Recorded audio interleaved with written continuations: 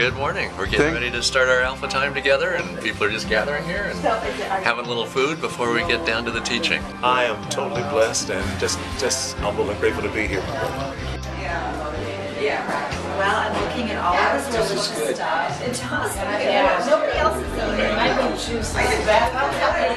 Wow. So, yeah. Oh, he, he- and where are we? Where- Aho, aho! Oh my God! Look at your outfit. What is that? Yeah, Oh this. boy! Oh boy! Oh. This is one of the local tribes here. Mm. Steve, where where are we?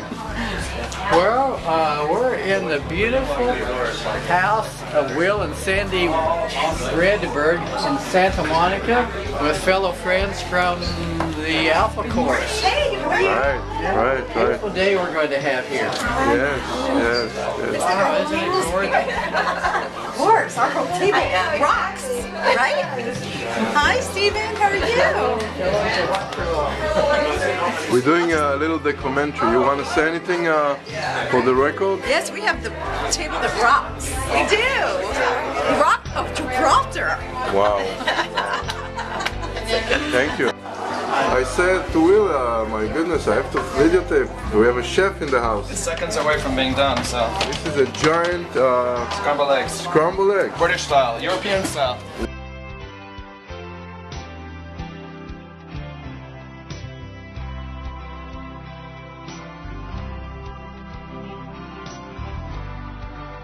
No, no, I want to know what you think. Uh, Atina is here. She's gonna say something smart, I'm sure. She knows a lot of good stuff. Say something. I, I think that this is a great place to come together and I'm actually learning a lot today. Wow, you're right. That's all I had to say. I'm sure you have more to say, but Why don't you secretly videotape shy. me? Of course I'm being No, shy. but you're so pretty you're on the gonna show me camera. Okay. Well, Thank you, thank you. Thank you. Perfect. And and this this represents me, who's not so clear, not so fresh, not so perfect, and it's and it's all the the behavior, all of the sin, all of the stuff that I bring to the table to God.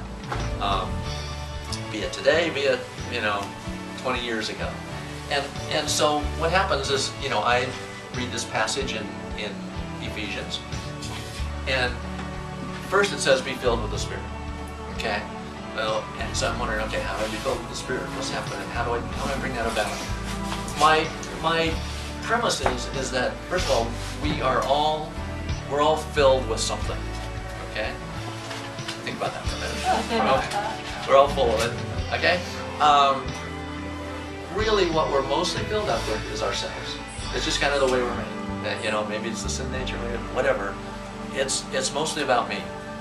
That's why Rick Warren writes the book on the purpose-driven church. The first line in the book is, "It's not about you."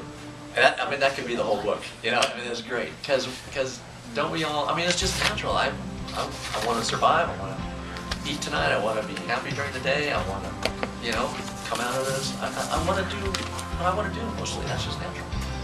But if I want to begin this process of being filled up with the Spirit, what I need to do is start taking off some layers.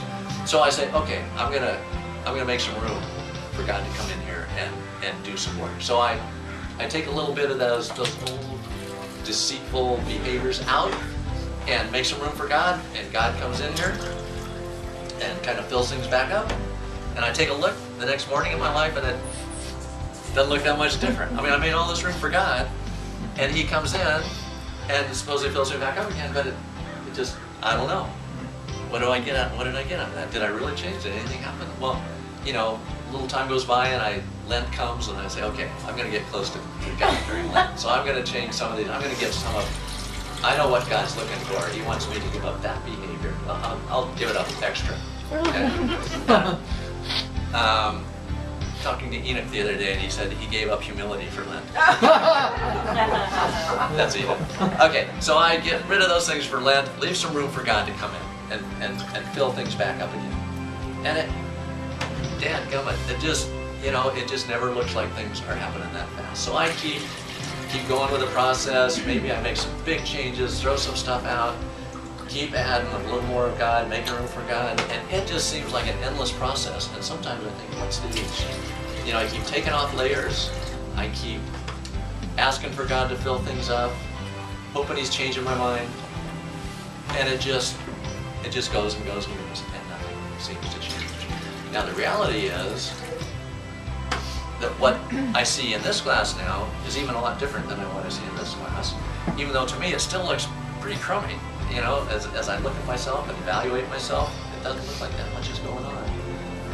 But if I keep the process going and keep taking off layers, layer upon layer upon layer, and making room for God to fill that space back up again, there will come a time when I can actually look and see, and maybe other people will look and see, wow, you know, there's really been some changes that are noteworthy. I mean, I can tell that something has gone on there. And particularly if I just, you know, I go on a pilgrimage. we, watched, we watched The Way last night. I think that was, was great. Everybody seen that movie, The Way?